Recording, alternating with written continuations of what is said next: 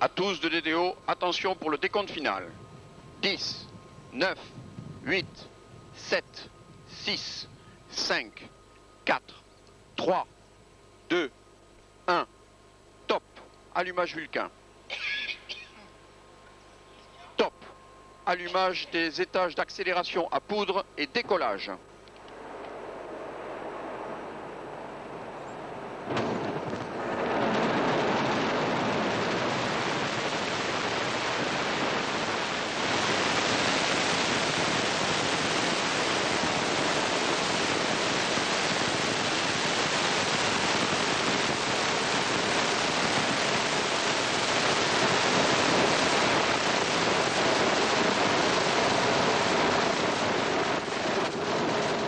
She blows, hauling herself paramètres bord sont normaux.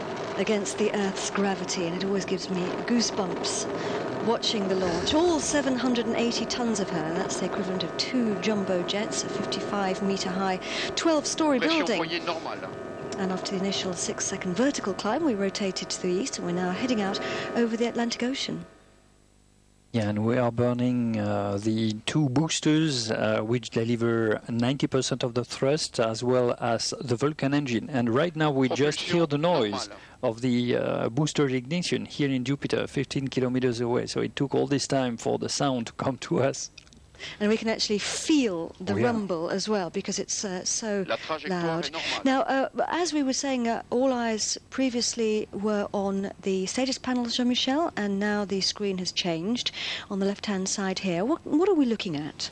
Uh, the curve to the left on the top shows the elevation of the vehicle, the altitude of the vehicle versus its distance from, from the pad. So you see it rises vertical, and the little dot you see moving, uh, it corresponds to the exact measured position of the vehicle versus the planned trajectory. So you see we are right on the mark.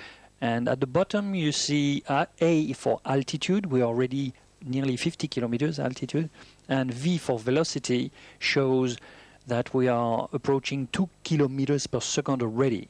We were talking just now about the fact that we, uh, although we're 15 kilometres away from the launch pad, it took us a little while to actually hear the.